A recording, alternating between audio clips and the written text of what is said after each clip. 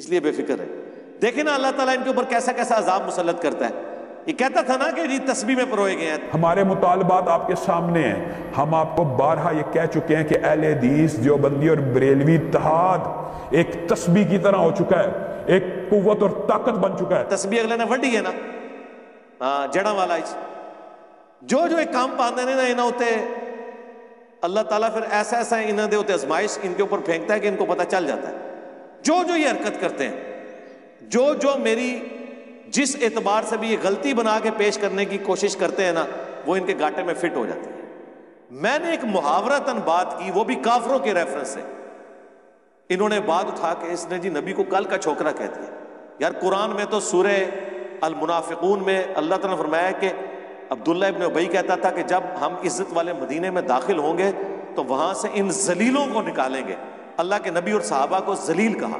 अब ये जुमला मैं जब बोलूँगा, अब्दुल्ला इब्न उबई की रेफरेंस से तो क्या मैं रसूल्ला की गुस्ताखी कर रहा हूँ इसे कहा जाता है नकल कुफ, कुफर न बाशत। इस तरह काफरों के एतराजात को सम अप करके मैंने कहा था कि वो कहते थे, जहर नबी इस्लाम तो उनके एतबार से यंग थे। वो कहते थे, ये कल का छोकरा में आके समझाए। वो कहते, तुमने नबी को छोकरा कह दिया तो फिर कारी खलील रहमान की ज़ुबान से एक नबी के लिए नहीं, तमाम अंबिया के लिए निकला। जब देवबंदियों ने अहले हदीसों को रगड़ा दिया ना, और वो जो जद्दे में बैठा हुआ है इनका एक मौलवी, उसने सवाल किया, उसने कहा कि ये जो कुछ कर रहे हैं ना देवबंदी हमारे साथ, ये सारे अंबिया के मुखालफी करते थे कि हमने दाढ़ियाँ धूप में सफ़ेद की है। ये कल का छोकरा आके मैं समझाएगा। दुनिया में आने वाले हर पैगंबर के साथ उसकी कौम ने जो पहला एतराज़ किया बुनियादी वो यही था कि हमारे बाप दादा पागल थे। उन्होंने क्या दाढ़ियाँ धूप में सफ़ेद की थी? क्या उनको कुछ पता नहीं था ये कल का छोकरा आकर हमें ये समझाने लगा है दीन? ये कल का छोकरा आकर हमें ये समझाने लगा है दीन? ये कल का छोकरा आकर हमें ये समझाने लगा है दीन? ज़ाहिर है वो शुस्ता उर्दू में इसी तरीके से चीज़ों को समअप किया जाता है। फिर आप देखें मैंने पूरी तफसील के साथ बताया कि अल्लाह ताला अपनी दो क्वालिटीज हमारे साथ शेयर करेगा जन्नत में। एक ये कि हमें मौत नहीं आएगी, अल्लाह को भी मौत नहीं आनी। दूसरा, कुन फयाकून, जो अल्लाह ख्वाहिश करता है वो हो जाता है। हम भी जो ख्वाहिश करेंगे वो हो जाएँगे। ये दो चीज़ें ऐसी हैं जो अल्लाह जन्नत में हमारे साथ शेयर करेगा। हम उस अल्लाह से क्यों ना मोहब्बत करें? कि जिसने चंद सालों की ज़िंदगी के एवज हमें, हमेशा की ज़िंदगी दे दिए, जहाँ हमारा हुक्म चलेगा। और इसमें मैंने एक टर्म डिवाइस की थी मिनी गॉड और मैंने उसमें साथ बोला था, ये गॉड उन मानों में मैं नहीं ले रहा कि वो जो माबूद और आबिद वाला मामला है, ये मखलूक के मानों में ले रहा हूँ, उस क्वालिटी के पॉइंट ऑफ़ व्यू से। इसको उन्होंने पकड़ लिया। हालाँकि उर्दू में ये बोला जाता है, ना खुदा। आपने सुना, ना खुदा। ये फारसी से उर्दू में आया फारसी में जो कश्ती का मल्ला है ना, उसे कहा जाता है ना खुदा। ये दो अल्फाज जमा होके बना है। नाओ खुदा। नाव कहते हैं कश्ती को, खुदा कहते हैं उसके चलाने वाले को। तो ये फिर इसका एक मुख्तसर लफ्ज बन गया, ना खुदा। जिस तरह मंगोल था, अरबी, चूँकि गाफ नहीं बोलते, वो मुगल मुगल कहते थे, वो करता करते मुगल बन गया। हम मुगल हैं मंगोलों की औलाद है। लफ्ज था मंगोल। मगोल हुआ, फिर मुगल बन गया। अब्दुल कादर जीलानी बोला जाता है अरबी में। लफ्ज है गीलानी, चूँकि अरबी में गाफ नहीं होती, इसलिए उन्होंने जीम लगा ली। ठीक है? पाकिस्तान को पाकिस्तान क्योंकि पे नहीं होती। यहाँ पे भी नाव खुदा। मुख्तसर करके बन गया ना खुदा। उधर कभी किसी ने नहीं कहा कि आप कश्ती के मल्लाह को खुदा कह रहे हैं। गोया कि इसकी इबादत होती है? ना, सबको पता था, ये खुदा उन मानों में नहीं है। जिस तरह अल्लाह इस कायनात का निज़ाम चला रहा है, वो इस कश्ती को चला रहा है। और मैं तो साथ कह रहा हूँ, खालिक और मखलूक का फ़र्क बार बार रिपीट कर रहा हूँ। इससे बढ़कर इनके सारे सूफिया देवबंदियों और बरेलवियों के बाबों ने, जिनमें से बास की तारीफ़ हदीस भी करते हैं। वाहदतुल वजूद का अकीदा जब बयान किया और इनके ऊपर एतराज़ शुरू हुआ तो इन्होंने कहा, नहीं नहीं, वाहदतुल वजूद का आप मतलब गलत समझें।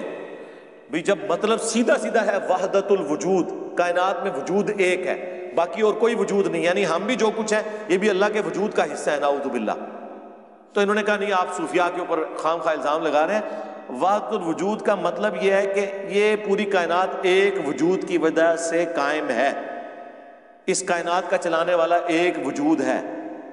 हालाँकि ये भी, ये अपने बुज़ुर्गों की गलतियों पे गलत पर्दा डाल रहे हैं। उनका ये मौकफ नहीं है, वो कहते हैं, बाकी सब की सब चीज़ें इल्यूजन है जो आपको नज़र आ रही है। वजूद एक ही है, जो पैंथीज्म का अकीदा है, हमाऊस का, जो हिंदुओं के अंदर भी है। फिर भी हमने कहा, ठीक है जी, आप सूफिया के इस अकीदे की तावील करते हैं ना कि वाहदतुल वजूद से मुराद सिर्फ़ यह है कि यह कायनात को एक वजूद चला रहा है। इससे मुराद ये नहीं है कि हम भी खुदा का टुकड़ा है। हम आपकी ये तावील कबूल कर लेते हैं।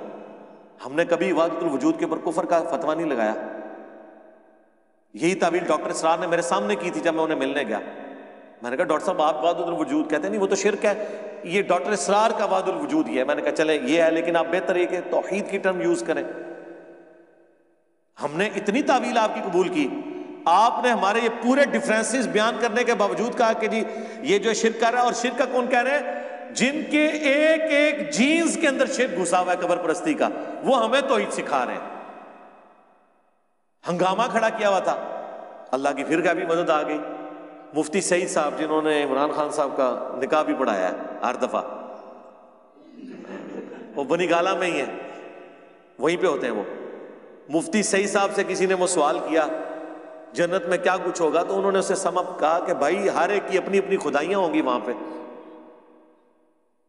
या जन्नत में वाईफाई होगा? सब कुछ होगा भाई। किसी आदमी के वहमो गुमान में भी वो चीज़ें नहीं गुजरी जो अल्लाह उसे जन्नत में देगा। भैया, सबकी अपनी अपनी छोटी छोटी खुदाइयाँ होंगी, अब इससे ज़्यादा क्या चाहिए? भैया, सबकी अपनी अपनी छोटी छोटी खुदाइयाँ होंगी, अब इससे ज़्यादा क्या चाहिए? भैया, सबकी अपनी अपनी छोटी छोटी खुदाइयाँ होंगी, अब इससे ज़्यादा क्या चाहिए? अपनी खुदाई होगी ना? ये हो जाए, ये ना हो अपनी खुदाई होगी ना? ये हो जाए, ये ना हो अपनी खुदाई होगी ना? ये हो जाए, ये ना हो उन्होंने सारों को ही खुदा बना दिया। ठीक है। वही जुमला जो मैंने बोला था। अब सारों को सांप सूँगा हुआ है इसीलिए मैंने जो अपनी वीडियो रिकॉर्ड करवाई है ना इंजीनियर मोहम्मद अली मिर्ज़ा स्टूडेंट्स की अदालत में पिछले दिनों।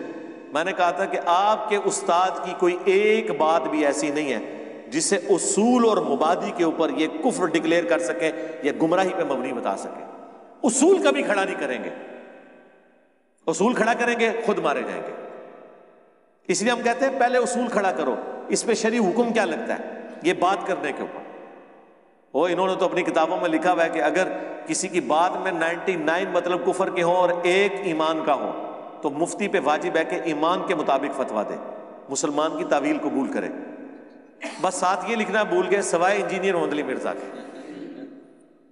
जब तक कोई कंफर्म गुस्ताख रसूल ना हो आप किसी को कत्ल करोगे आप कातिल हो आप आशिक नहीं हो कि चुकी है अपनी खुद ही फतवा, खुद ही मुफ्ती, खुद ही जनाब अमल खुद ही जज और खुद ही काजी ऐसे नहीं है। तो तुम कहाँ से आ गए जिन्हें नमाज़ नहीं आती और तुम ये फतवे दो कि कौन गुस्ताख रसूल है और कौन गुस्ताखे रसूल नहीं है? ये मज़ाक है क्या? खबरदार खबरदार आगा रहो। जिस तरह तोहीन रिसालत के हवाले से मामला खतरनाक है, उस तरह इंसानी जान के हवाले से भी मामला बड़ा खतरनाक है। सौ वजूहत कुफर हो किसी बंदे की तावील में एक वजह उसकी ईमान वाली आ जाए, उसे मोमिन कंसिडर किया जाता है। सौ वजूहत कुफर हो किसी बंदे की तावील में एक वजह उसकी ईमान वाली आ जाए, उसे मोमिन कंसिडर किया जाता है। सौ वजूहत कुफर हो किसी बंदे की तावील में एक वजह उसकी ईमान वाली आ जाए, उसे मोमिन कंसिडर किया जाता है। ये आप कहाँ हैं? आपको क्या पता हम आवाम को कि क्या चीज़ तो हीन पर मुंतबिक होती है और क्या चीज़ जो है ना नहीं होती? मैं जानबूझ के ऐसे जुमले बोलता हूँ लेकिन फिर मैं उसको साथ ब्रीफ करके बोलता हूँ, ताकि ये छोटा क्लिप काटे। हाँ ਐ मैं मच्छी फड़ने से कुंडा लाना। विचू ये छोटा जहा क्लिप कटन। मेरी बदनामी करें। लोग वो पूरा क्लिप देखें। और कहें वो वो मौलवी, इतने झूठे ने उन्हें तो गाल ही नहीं सी की जिस तरह वो देखें, वो एक बट साहब तबलीगी जमात के। अल्लाह का बंदा। बस वो सिर्फ़ एक मुकर्र ही है। उन्हें भी अपना हिस्सा पाया है कि वो इंजीनियर को देखो बैठ के क्या क्या पता नहीं क्या क्या बोलता रहता है। तो भी तो पता लगना है, पूरी ज़िंदगी तू फजाइल माल पढ़ी ना तू कुरान पढ़ा, ना बुखारी पढ़ी। ठीक है? और साथ मेरे क्लिप चला दिए कि इंजीनियर साहब कह रहे हैं कि जी वो आपके सामने कुरान पढ़ना ऐसे ही है जैसे कोई फ्रेंच में गालियाँ निकाल रहा है तो इसने कुरान को गालियाँ कह दिया। वो इंजीनियर बना हुआ क्या वो? मोहम्मद अली इंजीनियर, कभी कोई कहता है मैं इंजीनियर कभी कहता है मैं मौलवी में पता नहीं तो उसको खुद भी पता मैं क्या हूँ। क्या क्या फजूल बातें वो करी जाता है वो करी जाता है। आपके सामने कुरान इसी तरीके से पढ़ा जा रहा है कि जैसे कोई आपके सामने फ्रेंच ज़ुबान के अंदर आके आपको गालियाँ निकालना शुरू कर दे। और लोग तो चूँकि बेचारे लोगों को तो दीन का पता नहीं लोग तो सही समझ रहे होते हैं कि जी ये सही फरमा रहे हैं इतना मशहूर आदमी सही बातें कर और कितनी फजूल बातें वो करता है दीन के मामले में जिसकी कोई हद नहीं। यार कोई आगे पीछे बात हुई है? वो मैंने एक लतीफा सुनाया पंजाबी का ओरिजिनल कि यहाँ से कुछ लोग अरब मुल्कों में गए और जहालत का ये हाल है उनका कि चूँकि अरबी तो आती नहीं है, अरबियों से लड़ाई हुई, इन्होंने पंजाबी में गालियाँ दी, उन्होंने अरबी में गालियाँ दी।